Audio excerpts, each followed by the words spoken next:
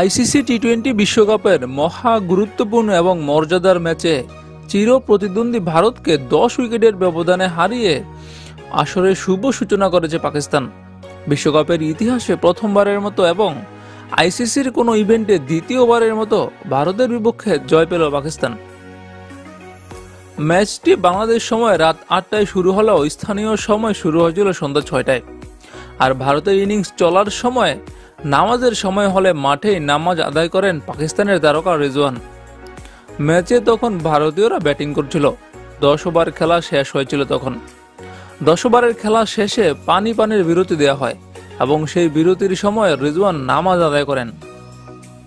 দলের বাকি খেলোয়াড়রা যখন বিরতিতে পানি পানে ব্যস্ত, তখন উইকেটের পাশে এক মনে দাঁড়িয়ে নামাজ আদায় করে নিলেন রিজওয়ান। এই ম্যাচেও পাকিস্তান জিতেছে। ভারতকে কোনো রকম সুযোগ না দিয়ে দশ উইকেটের বিশাল ব্যবধানে জিতেছে পাকিস্তান।